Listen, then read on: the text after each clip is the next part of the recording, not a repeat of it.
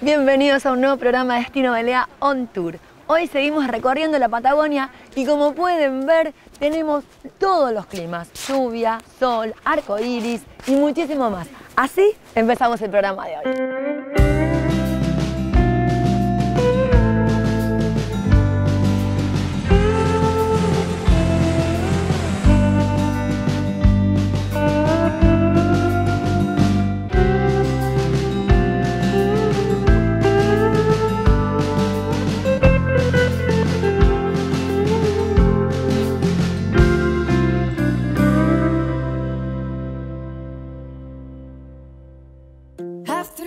Called you up, said I need you now, cause I'm losing patience. By four, you were knocking on my door. I said, Camino a la Cordillera del Viento desde Villa Langostura. Nuestra primera parada a tomar fotos de este arco iris en el lago Espejo.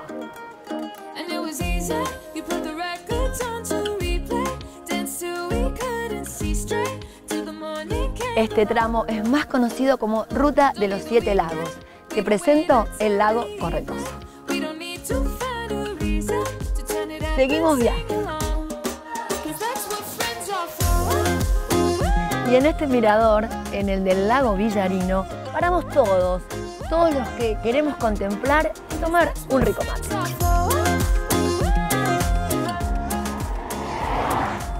Perdón, ¿cómo le va? Mucho gusto, Silvina.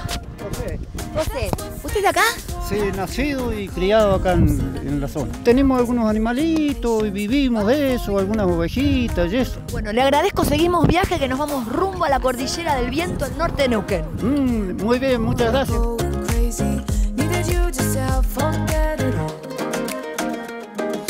Cuidado, animales sueltos en la ruta.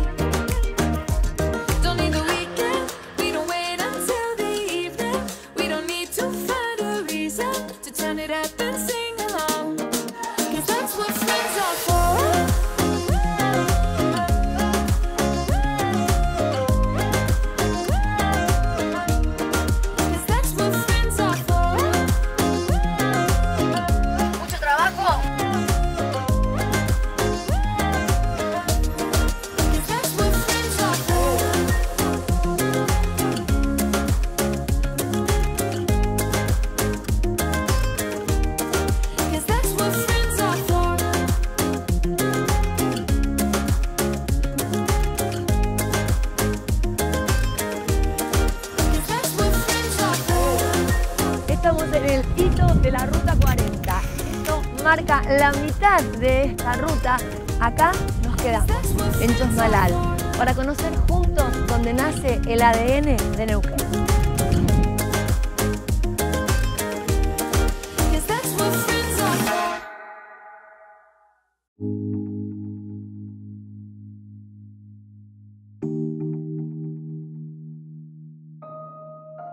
Miren lo que es este hotel, un oasis en un pueblo de 20.000 habitantes con muchísima historia para contar. Hola, buen día.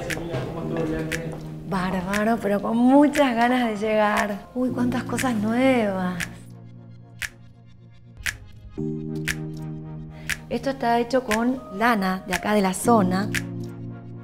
El fieltro es para nosotras el arte de amasar las emociones.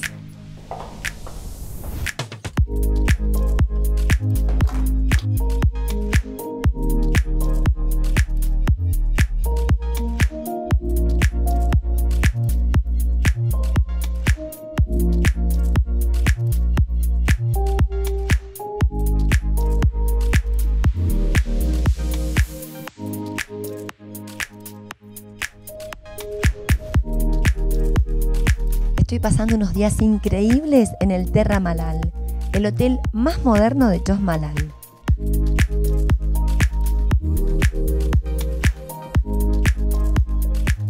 Está estratégicamente ubicado para recorrer el norte neuquino y las diferentes opciones de pesca de la zona.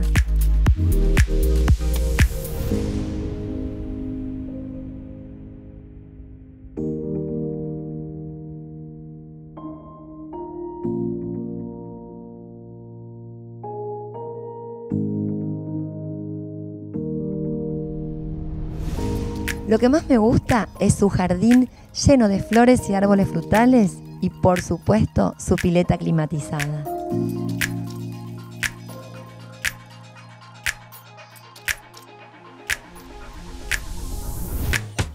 El Terramalal sigue creciendo, próximamente con más capacidad para alojar a los viajeros y a todos los que buscan un lugar especial para realizar eventos empresariales y reuniones.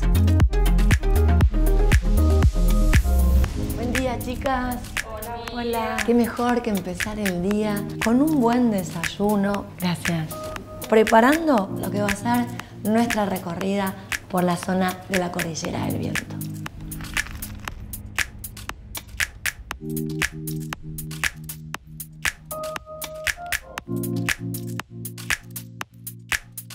Mi lugar preferido, este rinconcito para leer, mientras espero que venga todo el equipo de producción para seguir recorriendo Chosmalal.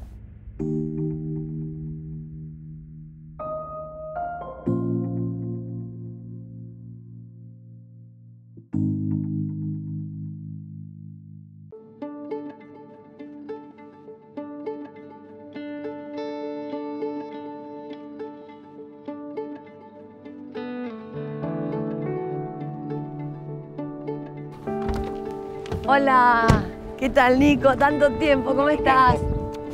Lindo verte. Igualmente, bienvenido a Destino Beleá a Chosmalal y bueno, a la bodega.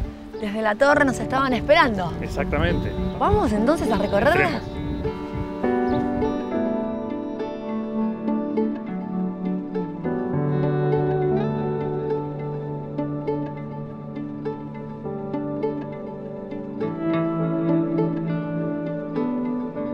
Caminando por tu oficina. Sí, exactamente. Lo que hacemos todos los días y amamos hacer, laburar la tierra. Mucho cuidado necesitan las vides. Es una planta muy noble, pero lo que tiene es que se adapta muy bien a la zona, una zona muy buena para, para la viña. ¿Qué, qué características tiene la tierra que te permite producir estos vinos? Muchos nutrientes que le sirven a la planta eh, y después el microclima que tenemos en Chosmalal es ideal. ¿Y qué cepas encontramos en Desde la Torre? Malbec, Pinot Noir, Cabernet Franc, Cabernet Sauvignon, eh, Riesle y bueno, entre otras variedades que están implantadas hace poquito.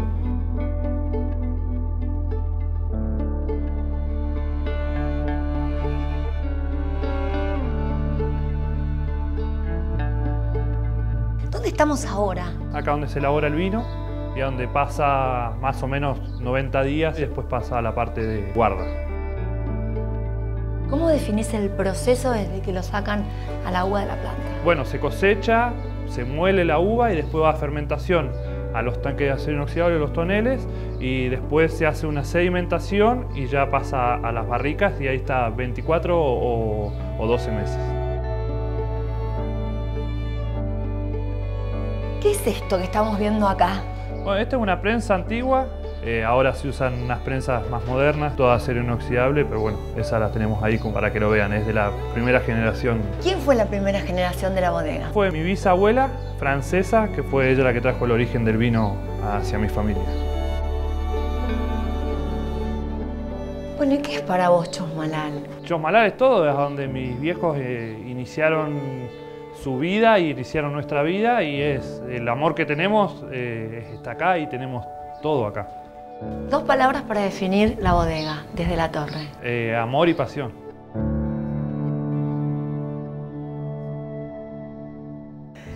¿Qué vino vamos a degustar? Hito de la Ruta 40, un Malbec bien emblemático de la Argentina, que tiene, bueno, todas las cualidades que tiene que tener un Malbec Gran Reserva. Y este vino es un vino muy especial que viaja. Este es el vino que tenemos de exportación, emblemático de la zona, pues se llama Trasumante, lleva un cuerito de chivo, es un Malbec también, bien expresivo, frutado, fácil de tomar. Cuarta generación es, el, es un blend, se puede decir. Sí, es un blend de Petit Verdot, Malbec y Cabernet Franc y un poquito de Pinot. Bueno, este es el vino que yo elijo para regalarle a ustedes, para que se lleven, porque siempre están viniendo y bueno, y promocionando lo, lo nuestro. La verdad que es un placer, nos vamos a llevar con muchísimo gusto y antes de despedirnos de toda nuestra audiencia, contanos si la gente puede venir a visitar, si está abierto al público. Sí, la bodega está abierta al público, eh, pueden venir todos los días del año. eh, nos contactan por a través de las redes sociales, Bodega desde la Torre, y bueno, nos ponemos de acuerdo para ver cuándo, cuándo pueden venir. Bueno, podemos brindar entonces. Muchísimas gracias. Muchas gracias a ustedes por visitarnos. Vamos a volver. Sigan con nosotros, hay mucho más Destino Belea On Tour Chosmalal. Vamos a conocer a Cintia, que es la directora de este museo Olascuaga, que fue la primera casa de gobierno acá en Chosmalal. Hola Cintia. Hola. ¿Qué tal? Encantadísima de recibirlos. Estamos en la casa que fuera la primera gobernación de lo que fuera ese territorio nacional de Neuquén. Estamos hablando de toda la Patagonia, ¿no? Bueno, este museo es maravilloso. No es porque yo trabaje acá, pero es hermoso. Es un museo histórico. Aquí tenemos en parte la historia de los pueblos originarios, luego vamos a encontrar la impronta de la llegada del español y el marco de la campaña del desierto, la situación histórica de ese momento y la última sala es la sala Olascuaga. ¿no? Vamos. Bueno, vamos.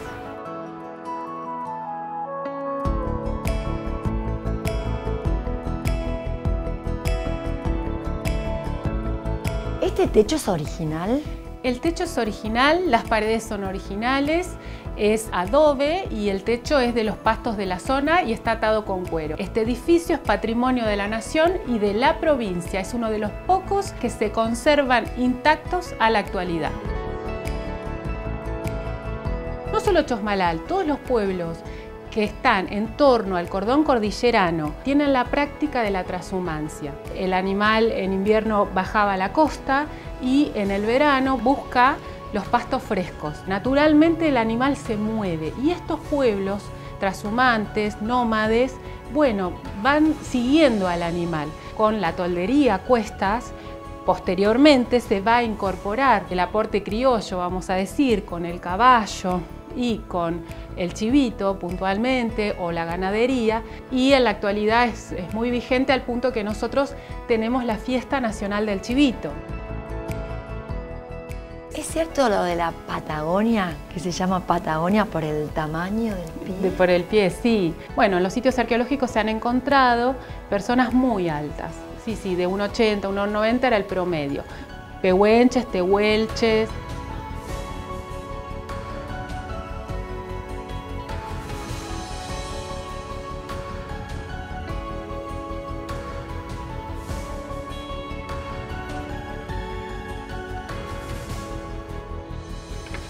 ¿qué hay acá?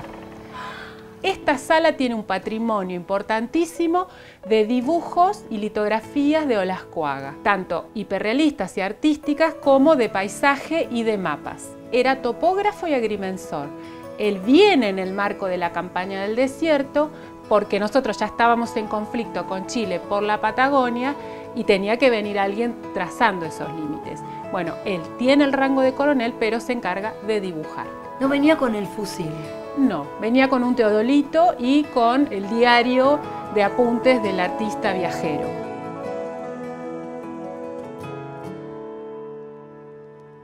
Aquí nació eh, Neuquén, digamos, ¿no? Esta es la capital histórica, esta fue exactamente, esta es la primera casa de gobierno, así que es muy interesante para que vengan a conocer nuestra historia y que conozcan estos primeros asentamientos civiles que van a encontrar en torno a esta placita que tenemos acá enfrente.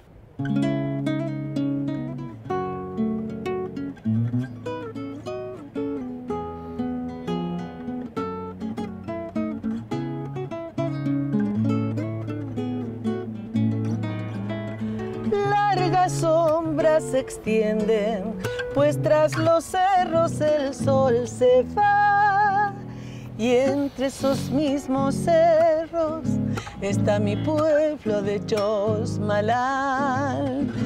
Y entre esos mismos cerros está la senda que supe andar.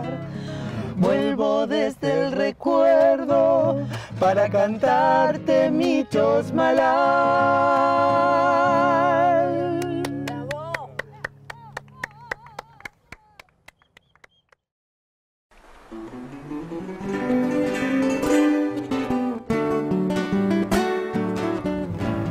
Que cada rinconcito de Chosmalal tiene historia. Y ahora sí, entramos de nuevo en la historia. Estamos en el almacén de ramos generales de la familia Dewey todo lo que vamos a ver se conserva en su estado natural. Se terminó. Fue fundado en 1903 y se abre para nosotros, para todos los que queremos ver qué pasaba en ese momento. ¿No, Sandra? Bienvenida Silvina, bueno, qué placer tenerlos acá. Sí, en realidad este almacén cumplió un rol muy importante a comienzos de la fundación y se ha conservado en el tiempo así. Esta propiedad se cierra en 1935 cuando fallece don Enrique Dewey y permaneció en el tiempo hasta el 2007 que se compra con fondos provinciales y pertenece al municipio de Chosmalal.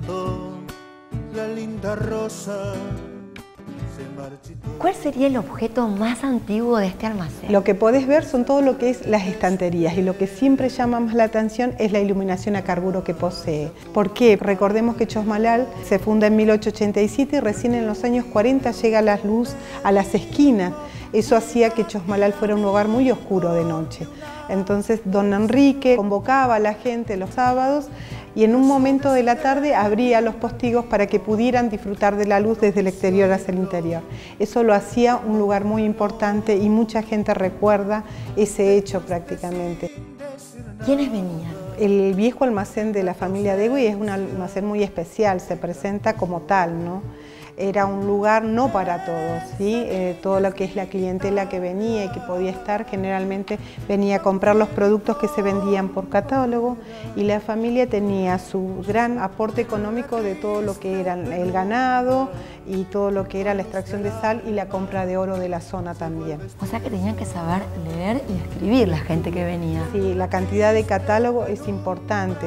Eso nos hace pensar que las personas que eran sus clientes tenían que saber leer y escribir para poder comprar y encargar las cosas que él traía. Bueno, antes de despedirme, decime cuál es tu objeto preferido. El que más llama la atención es el lavarropa. ¿sí? Que lo pueden ver ahí. ¿Este? Es ¿Era un lavarropa? Sí.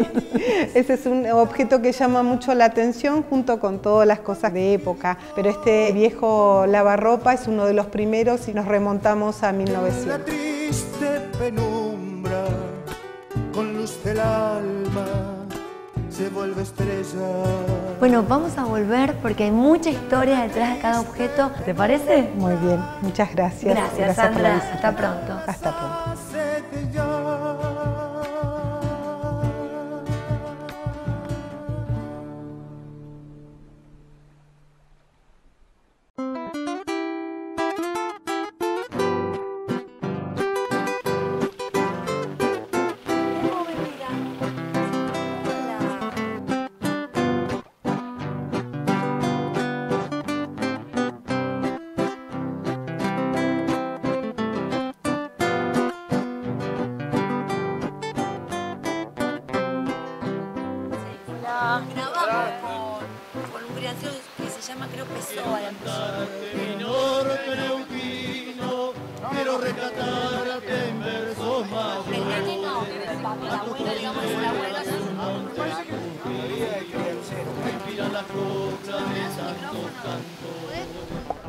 Se va a quemar ahí. ¿Cómo se llama físicamente el lugar? Esta es una, esto es un, un rial, eso. Estamos en un rial a orillas del Curilebú. Bien. Estamos en un rial a orillas del río Curilebú y estamos con Domingo. Hizo un alto con su piño y está con su cafecito. ¿Hace cuánto que se dedica a esto, Domingo? Toda mi vida, ya. sí. ¿En qué consiste esto de llevar el piño del verano al invierno, del invierno al verano? Sí, porque el, el verano hay pasto arriba y es frío. Tenemos que venir a la invernada porque es más cálido con los animales aquí. Para que no, para que no se mueran por el frío. Claro, todo. Así que toda esa campaña hay que hacerla. ¿Cuántos animalitos tiene? ¿Cuántos chivos? Habrá unas 500 animalitos, un poquito. Nada más, unos 500. ¿Y cómo se cobija? ¿Cuál es el secreto para no tener frío, para no tener hambre? ¿Qué lleva? De todo se lleva. Claro. ¿Y en qué se traslada? ¿Usted en caballo? Sí, acá está todo. Todas estas pichitas. Carguero, todo. ¿Qué es ser para usted criancero de toda la vida? ¿Qué significa? Bueno, que no es mandado de nadie uno. Trabaja por la voluntad. Come un asado a la hora que quiere. Así que no. Felicidad absoluta. Sí, Bueno, Domingo, lo dejamos. Nosotros tenemos que seguir nuestro viaje y muchísimas gracias por compartir lo que usted hace. Que les vaya bien, suerte. Pero con orgullo, quedó declarado mi canto el jardín. Manzano y Barbarco, tierra de cantoras, mueven las ovejas esperando estar. Pasa un chivito, sopa de chichoca, y andarán los cerros que nos ven vivir. Seguimos rodando los caminos de la Patagonia y te invitamos a seguirnos en Facebook, Instagram y Twitter Destino BLA.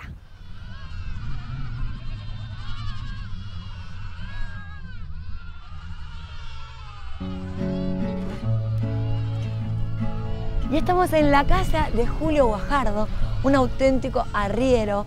No es chosmalense porque nació ¿dónde, Julio? Acá en Chacaimelehue, Chacaimelehue, a 20 kilómetros de a Chosmalal. 20 kilómetros de la ciudad de Chosmalal, digamos una ciudad histórica en el norte de Neuquén.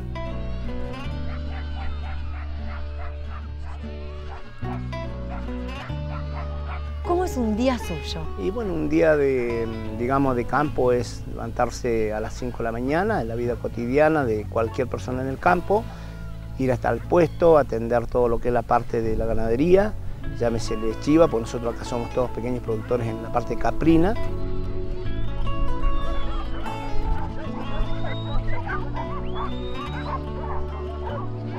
Es el puesto? El puesto es donde uno tiene, digamos, la, la ganadería de las chivas, donde le da la aparición, después hay que apartar los chivitos. para ¿Dónde estuvimos chivas. hoy? Donde estuvieron hoy, sí, sí.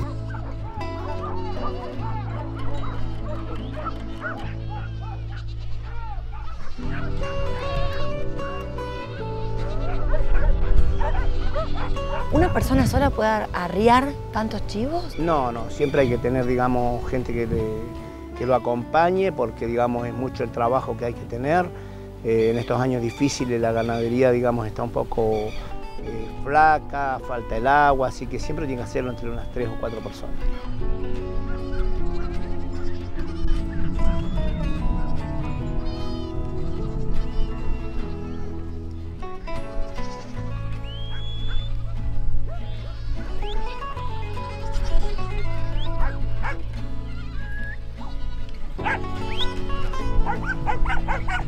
Perros en realidad son este, parte, digamos, de- de- del, del grupo de trabajo y del grupo familiar.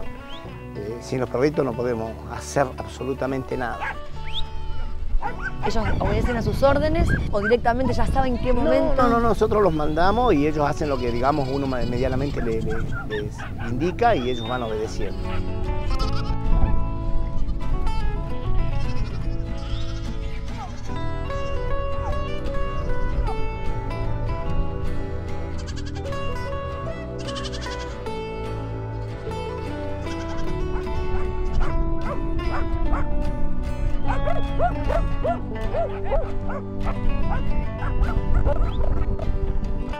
En algunos años la chiva da mucho chivo de a dos que se llama mellizo. Este año ha sido un año que la chiva ha estado prácticamente de a uno, gracias a Dios porque no hay pasto. Y bueno, el, chivito nace, eh, se amamanta y sigue, digamos, en crecimiento del día a día.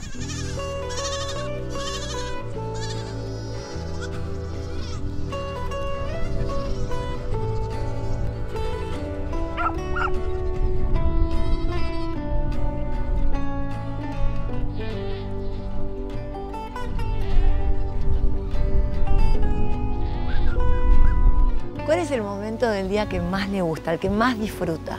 Yo creo que el momento que más disfruta uno es cuando está en familia, tomando su mate, charlando de lo que ha pasado en el día, es el día que disfruta.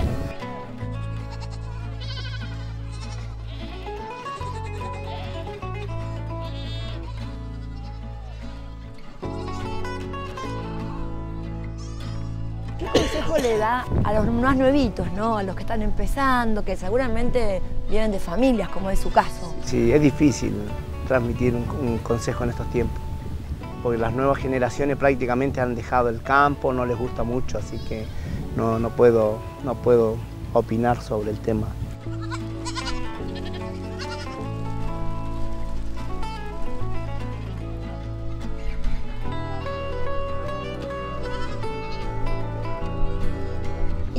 ¿Cuáles serían las tres palabras que usted definiría su actividad en, el campo, no? Eh, poder seguir la salud, la familia. No, no sé. Ama lo que hace. Bueno, yo le agradezco muchísimo, Julio, haber compartido toda esta tarde con nosotros. No tengo palabras para agradecer que nos enseñen, ¿no? No, nosotros también somos los agradecidos, digamos, por, por difundirlo y nada más. Bueno, muchas gracias.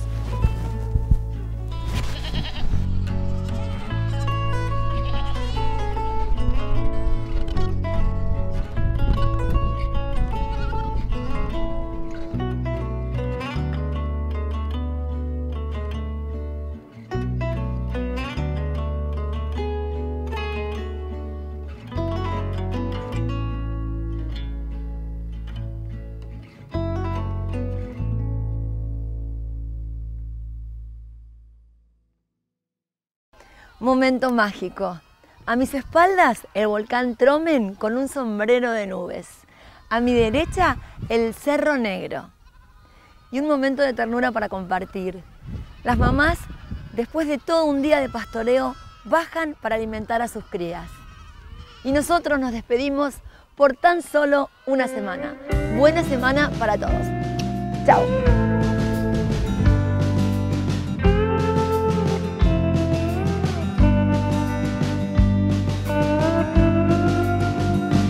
Decime que viniste a buscar con tu belleza. Todo es un Ah, perdón, chicos, cuando digo ya está mi café, cuando corta. Bueno, Decime vamos a volver porque es cuarta generación. Todo Entonces es este es el vino más especial. Ese es el vino más especial que tenemos. tenés que regalar.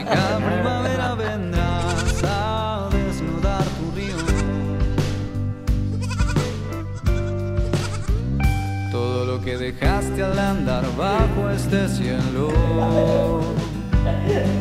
se vuelve distante en mí. Amantes de la lluvia y de los